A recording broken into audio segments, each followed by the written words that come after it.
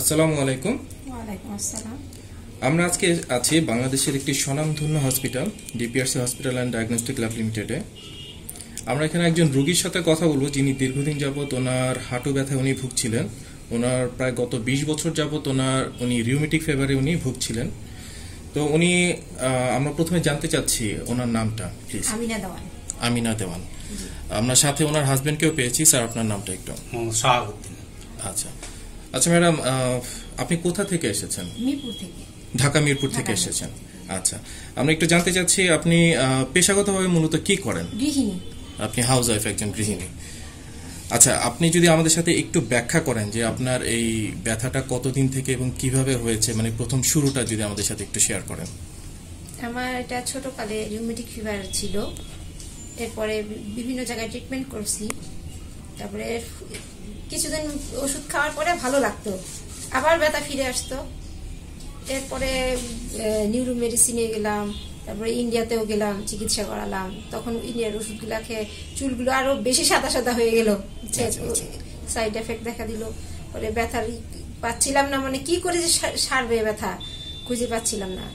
এর মধ্যে আবার আমার আম্মার এরকম পায়ের ব্যথা খুব হাঁটু ফুলে গেল। হাঁটতেই পারছিলেন না উনি। ওনার অবস্থা খুব খারাপ ছিল। উনি এখানে চিকিৎসা নিয়ে ভালো হয়েছে। উনারটা দেখে দেখে আমি আবার এখানে আসছি। আচ্ছা আপনার আম্মু মোটামুটি উনি ডিপিআরসি হসপিটালে সেবা নিয়ে উনি মোটামুটি সুস্থ হয়েছেন এবং সেটা দেখে আপনি মূলত অনুপ্রাণিত হয়েছেন। আচ্ছা ডিপিআরসি হসপিটালে আপনি কোন ডক্টরের আন্ডারে চিকিৎসা নিয়েছেন? শহীদুল্লাহ প্রধান। ডক্টর শফিউল্লাহ প্রধান ওনার আন্ডারে থেকে। আচ্ছা এখন আপনার শারীরিক অবস্থাটা কি? এখন আল্লাহর মতে আমি হাঁটতে চলতে পারি। এখন আচ্ছা। ভালো ব্যথা কমে গেছে হ্যাঁ। আচ্ছা আমরা একটু ওনার হাজবেন্ডের সাথে একটু কথা বলি। স্যার একটু আমাদেরকে যদি বলেন এখন ওনার কারেন্ট কন্ডিশন আগের এবং বর্তমান অবস্থা দুটাকে যদি কম্পেয়ার করা আপনি কি বলবেন? আগের চেয়ে মোটামুটি অনেক ভালো। আচ্ছা আগে ওনার যে সমস্যাটা হতো উনি প্রথমে আমাদেরকে যেটা বলেছেন যে ওনার সিঁড়ি দিয়ে ওঠা নামে প্রচণ্ড কষ্ট হতো। তো এখন আপনার মানে দেখে কি মনে হচ্ছে আগে থেকে কি উনি অনেক বেশি ভালো অবস্থায় আছেন? না আগের চেয়ে একটু উন্নত হয়েছে। আগে থেকে উন্নত অবস্থা হয়েছে।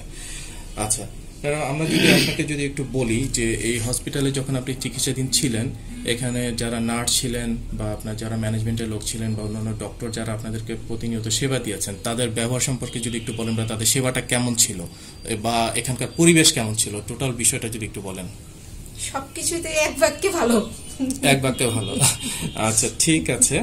আচ্ছা আমরা আরেকটু জানতে চাইব যে আপনার মতো এরকম আরও অনেক রোগী আছেন যারা বাংলাদেশে এবং বাংলাদেশের বাইরে যারা এই ধরনের হাঁটু ব্যথা এবং বিভিন্ন ধরনের কোমর ব্যথা তারা ভুগছেন কিন্তু তারা হয়তো সঠিক ডক্টরকে খুঁজে পাচ্ছেন না বা কার কাছে যাওয়া উচিত সেটা বুঝতে পারেন না। তাদের উদ্দেশ্যে কি আপনার কিছু বলার আছে কিনা? আমি তাদের উদ্দেশ্যে অবশ্যই বলতে চাই যে এই ডিপিআরসি হাসপাতালে আপনারা আসেন এবং শফিউল্লাহ প্রধান স্যারকে দেখান। আশা করি ইনশাল্লাহ আপনারা ভালো হবেন। আচ্ছা স্যারকে কেন দেখাবেন? উনার ব্যবহারও ভালো আর ট্রিটমেন্টও ভালো।